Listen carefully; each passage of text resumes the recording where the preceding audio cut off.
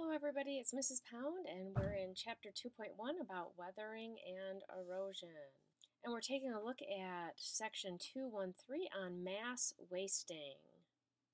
So our objectives today, we have a lot of them, are to distinguish among various forms of mass wasting, determine how various factors contribute to mass wasting events, infer reasons why people might want to build in locations prone to mass wasting, and identify methods of reducing the risk of mass wasting.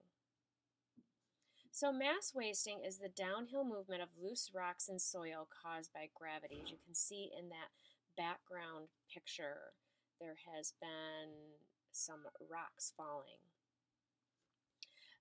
A cause of this is called regolith. It's the loose layer of rock and soil. So I have this picture to try to show that loose layer that has let go here and gone down the hill. So there are many types of mass wasting, including landslides. This is the rapid downhill movement of a large amount of soil and rock. And I have this picture here of a road uh, by a steep hill. And what I want to point out is that they there has been a landslide in this area, and they're trying to contain it by putting basically some fencing material here, kind of like a net to catch the things from falling down. So sometimes we have to build roads through these types of areas. And I'm sure you've been by a road where you've seen where landslides have taken place. Another common thing they will do in areas like this where they have a road is they can build uh, a structure over the top of the road that prevents the material from falling onto the roadway and onto cars. Landslides are commonly triggered by heavy rain or snowmelt, volcanic eruptions, and earthquakes. And back here, I like this picture because you can actually see the landslide taking place. All that dust and things in the air is because the landslide has just taken place. There are also mud flows. This is the rapid downhill movement of a large mass of mud and debris through natural channels. And you can see that happening here around some houses. Okay, another form of mass wasting is soil creep. This is the extremely slow downhill slide of soil. You can see here in this picture that the fence is not straight. The reason the fence is not straight is because soil creep has happened. And one way to prevent soil creep is to have vegetation holding everything. So to make sure that vegetation is planted to hold the soil together.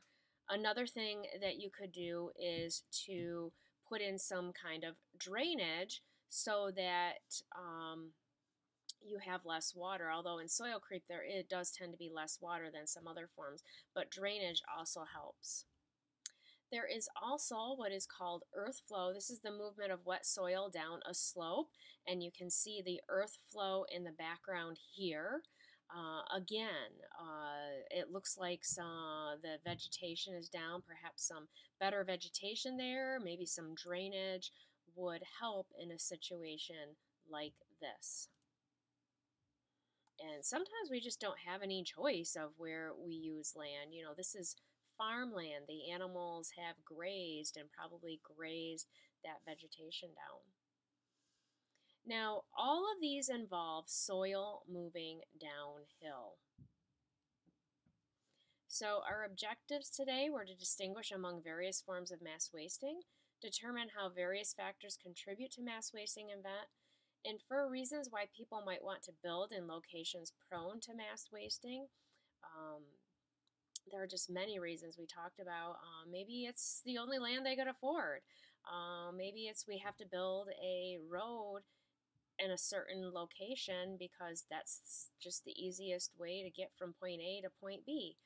Perhaps there are other features there that are desirable.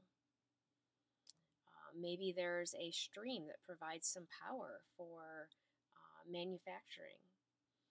And identify methods of reducing the risk of mass wasting. We talked about putting up uh, like fencing type materials. I did not mention retaining walls, but I have mentioned that in a previous video. Drainage and planting vegetation to hold soil together. So make sure you write down your five questions and I'll be back with another video.